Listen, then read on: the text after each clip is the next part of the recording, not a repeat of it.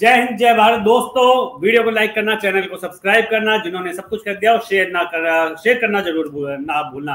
अब देखो, बांग्ला टाइगर छा गए हैं, और नागिन डांस इनकी छाती पे करके ही रहेंगे भैया। देखो, नागिन डांस क्यों होगा? हंड्रेड परसेंट लिख के ले लो, कल तो होना ही है। चाहे सीरीज़ वन ज़ीरो से हो जाए, कुदरत का निज़ाम चलता रहा तो वन ज़ीरो से हो जाएगी। अगर जो कि शिवानी ने बोला तीस ओवर तीस ओवर मैक्स कह रहा हूँ मैं मैक्स गलती से इनको सिर्फ़ बीस ओवर भी मिल गया ना, लगातार फ्लो में। बीस ओवर में भी ये पाकिस्तान के बड़े से बड़े एल लगा दें। ऐसे ठोकेंगे ना इनको कि ज़िंदगी भर इनको याद रहेगा कि नशीम शाह शहनशाह फरीदो को बिठाने का डिसीज़न और घंटे के किंग बाबर, गोबर आज़म, डस्टबिन को खिलाने का डिसीज़न बहुत गलत था। दूसरी बात, शान मसूद आए, शान मसूद गए। क्योंकि अब ये सीरीज़ हारने के बाद शान मसूद को कैप्टनसी कोई दे दे, मुझे तो नहीं लगता पाकिस्तान में दे दे, क्योंकि पीआर सिस्टम चल जाएगा बाबर आज़म का। कल की वीडियो में मैंने क्या बोला था? डेढ़ सौ मैक्सिमम दो सौ। पाकिस्तान बहुत अच्छा खेल रही थी तो दो सौ। मैंने बोला था इससे ऊपर नहीं जाएगी। और वही हुआ, उसके बीच में ही रुक गई है। फिर भी मैं ये कहूँगा, देखो, बांग्लादेश का इंटेंट भाई, जीत हार अलग चीज़ होती है। भाइयों इंटेंट होना ज़रूरी है। अगर आपकी कोशिश है तो कोशिश करने वालों की कभी हार नहीं होती। और पाकिस्तान के अंदर घुसने वाला तंबू में बंबू, वो बांग्लादेश का होना ही होना है। क्योंकि देखो, सिंपल सा फंडा है। बाबर आज़म ने क्या किया इस सीरीज़ में?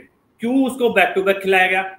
नशीम शाह शाह अफरीदी ने ऐसा क्या गुना कर दिया कि उनको बिठा दिया गया स्पेशली स्पेशली ग्रीन टॉप पर। अब रिजवान तो अपना काम जैसे जैसे करके चले गए, जैसा कि शिवानी ने भी बताया था कि देखो तो कैप्टनसी की होड़ में उनको भी पता है, बाबर आज़म को अगर दोबारा नहीं मिलती तो उनका नंबर आ सकता है, ये सिनारियो चल रहा है।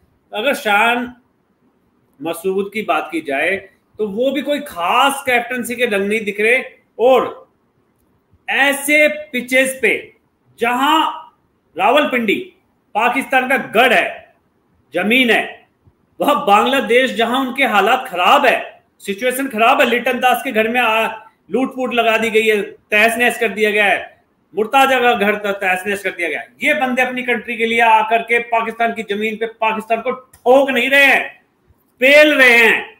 ये इतिहास, इनके बाप दादा तो अभी ज़िंदा है जो सुन रहेंगे पाकिस्तान के, इनके जो पोते पड़ पोते भी आ जाएँगे, वो भी इस बात पे चर्चा करेंगे कि बांग्लादेश शायद था घर में पेल करके गया था और ऐसी ठुकाई।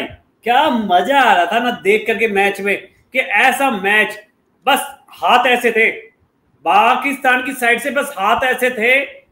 बांग्लादेश की साइड से मुझे लगता है थोड़े से हाथ कम पड़ गए। और मैं कहता हूँ बांग्लादेश के जितने भी भाई है ना, हाथ उठा दो, क्योंकि कुदरत का निज़ाम इन्हीं की तरफ़ नहीं चेंज होगा। तीस ओवर आपकी टीम को मिल गए तो पाकिस्तान की ठाई ठाई हो जाएगी। और नागिन डांस हो जाएगा, बांग्लादेश की फाइव फाइव हो जाएगी। देखो, मज़ा पूरा आ रहा है मैच में, कुछ भी कहो। जी जी एब्सोल्युटली मज़ा पूरा आ रहा है, लेकिन यार वेदर सिचुएशन यहाँ हमारे राहुल महेश्वरी, नए व्यूअर आए हैं, उनका मैसेज आया, वो पूछ रहे हैं what is what is the current weather situation तो भाई, अभी इस चीज़ में है बैड न्यूज़ है, क्योंकि अभी बारिश हो रही है थंडर लाइटनिंग हो रही है, काफ़ी तेज बारिश हो रही है।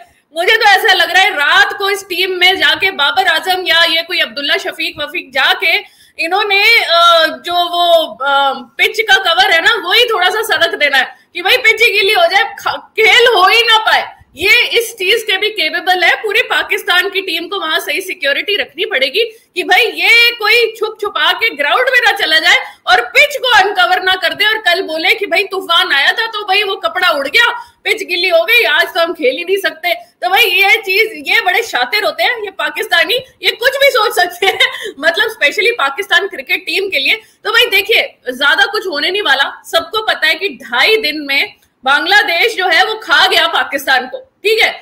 रेन रेन ही है जो बचा के रखी है इनको। आज भी एक सेशन रेन खा गया। फ़र्स्ट डे जो है वो भी रेन खा गया। कल भी अगर रेन खा जाएगा तो भाई ढाई दिन का खेल में बांग्लादेश ने एब्सोल्यूट शिट पॉट कर दिया जो रावलपिंडी के ग्राउंड में। तो भाई अब ये वन ज़ीरो से हारे दो ज़ीरो से हारे, ये ही कंडीशन है। ऐसा कोई कंडीशन नहीं है कि वन ऑल ये हो सकता है। तो Pakistan will not be able to save a series loss ये तो गारंटीड है। अब बस यही देखना है कि भगवान जो, भगवान तो नहीं, इनका कुदरत का निज़ाम जो है वो पाकिस्तान की तरफ़ जाता है या बांग्लादेश की तरफ़ जाता है? कुदरत का निज़ाम किस चीज़ में जा रहा है? उस चीज़ में वैसे मुझे पता है, पाकिस्तानी तो सोच रहे होंगे कि बारिश होती रहे। हार से बेटर ड्रॉ है टू ज़ीरो से बेटर वन ज़ीरो है, सबकी यही थॉट होगी। लेकिन मेरे हिसाब से मैच होना चाहिए। अगर देखिए, अगर पाकिस्तान को कहीं भी इंप्रूवमेंट करनी है, जो होगी नहीं, जो हमें पता है होगी नहीं, लेकिन फिर भी अगर कहीं सार भी बनाने की कहीं इंप्रूव करे तो इनको दो ज़ीरो से ही हारना पड़ेगा। व्हाइट वॉश होना ही पड़ेगा, इनको समझ में आना पड़ेगा कि ये इतनी खराब क्रिकेट खेल रहे हैं, इतनी पुरानी स्टाइल की क्रिकेट खेल रहे हैं, थकीले क्रिकेट खेल रहे हैं। एंड अगर व्हाइट वॉश नहीं हुआ ना बांग्लादेश से तो भाई कहीं ये फिर भी बच जाएँगे कि ठीक है, एक टेस्ट मैच हार गए, दूसरे में ट्वेंटी सिक्स फुट सिक्स कर दिया। तो मेरे हिसाब से तो ये कल कुदरत के निज़ाम को बांग्लादेश को सपोर्ट करना चाहिए। एंड यू नो तीस ओवर मिलने चाहिए किसी भी तरह बांग्लादेश को टू मेक दीज रन यार, जो अच्छा खेलेगा, वो जीतेगा। बांग्लादेश इस सीरीज़ में अच्छा खेली है डे वन से।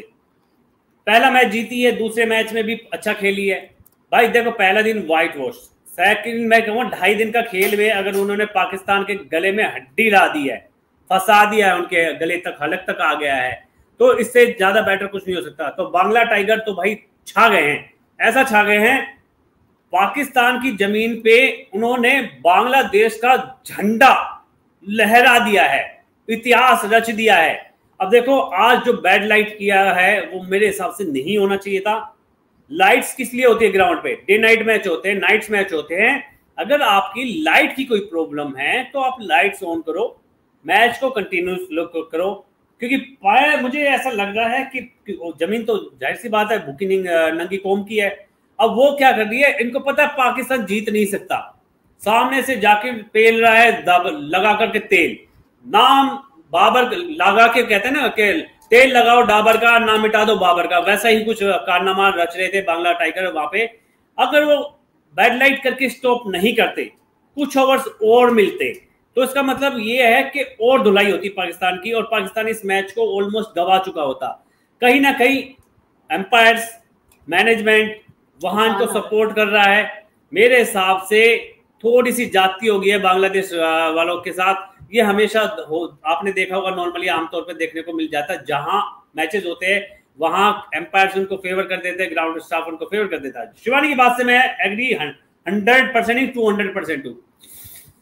बांग्लादेश का मैनेजमेंट का कोई भी बंदा ग्राउंड पे ही सोना चाहिए। क्योंकि तो यहाँ पे सिर्फ़ पिच गीले करने वाली बात नहीं है कि थोड़ा सा कपड़ा कवर साइड में कर दिया ऐसी नहीं बात नहीं, नहीं पिच का कवर उड़ा देंगे। मैं कह रहा हूँ बाल्टी भर कर के पूरी पाकिस्तान की टीम उस पर जाएगी और गिराएगी कि पिच गीली हो जाए किसी तरीके से। अगर थोड़ा सा मैच स्टार्ट होने के आसार हो तो उसको भी खत्म कर दो। क्योंकि देखो रिस्क किसको है? स्पेशली बांग्लादेश को। बांग्लादेश तो खुद ही रिस्क लेने के लिए तैयार है। अब जैसे भी तैसे करके पाकिस्तान की आन बान शान झूठी वाली जो है निकम्मों की, वो बचाने की पूरी कोशिश करेंगे। लेकिन बचना नहीं है, मैं बता दू दोस्तों। कहीं ना कहीं तीस ओवर का खेल मिलने के चांसेस हैं, कम है बट मिल सकते हैं। अगर जेनवनली गए एम्पायर्स फ़ील्ड एम्पायर्स और ग्राउंड स्टाफ तो पक्का मिल सकता है। अगर वो फेवर ही करेंगे, जैसे कि आज फेवर किया, फिर अलग बात है। लेकिन फिर भी दोनों सूरतों में बापा, देखो, बांग्लादेश की तो शान है मतलब और पाकिस्तान की तो बेजती हो ही गई है। जी जी